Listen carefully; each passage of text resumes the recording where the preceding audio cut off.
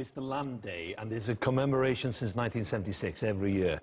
Um, and it's important for the Palestinians because it remembers six uh, Israeli citizens, Arab Israeli citizens, who were killed uh, when they were trying to protest against the loss of their lands. Now, the, all this dates back to 1948, uh, what the Palestinians called the Nakba, the catastrophe of losing their lands. Some three quarters of a million uh, Palestinians is estimated left or uh, had to escape.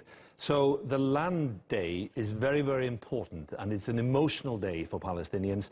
Now, this, uh, what they're calling for now is to commemorate it, and there has been. For instance, the Second Intifada coincided with the land day uh, in, in, the 80s, so in, in, the 90s, 2001. So that's why this is seen as an important day, and that's why there's this call for hundreds uh, of people, maybe tens of thousands, to go out in a very dangerous area near the uh, Israeli-Gaza border.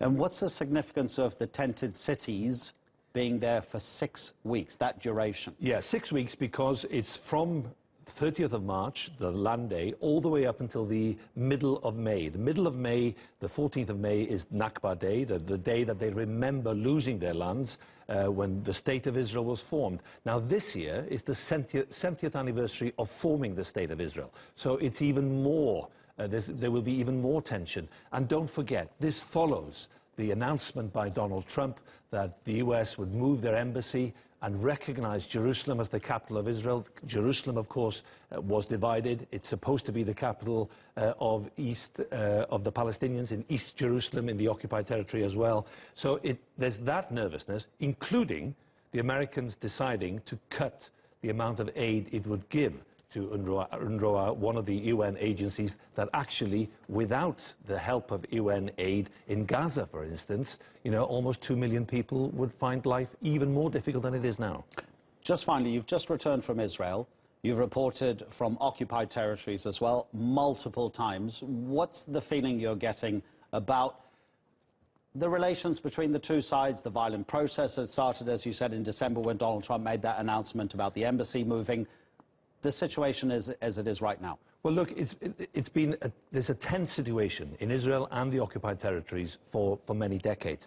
But people learn to live with that tension.